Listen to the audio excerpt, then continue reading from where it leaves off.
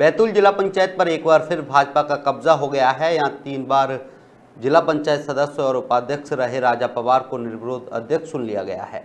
आपको बता दें कि राजा पवार चौथी बार सदस्य चुने गए हैं।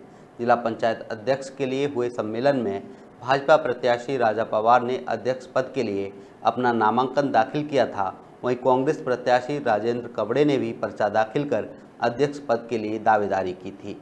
लेकिन उन्होंने अपना नामांकन वापस ले लिया जिसके बाद राजा पवार को निर्विरोध अध्यक्ष निर्वाचित घोषित कर दिया गया।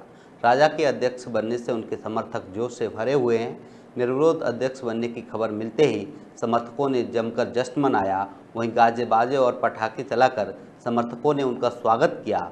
इस दौरान पूर्व विधायक हेमंत खंडेवाल, बैतूल भाजपा जिला अध्यक्ष बबल शुक्ला और भाजपा के वरिष्ठ नेता मौजूद रहे।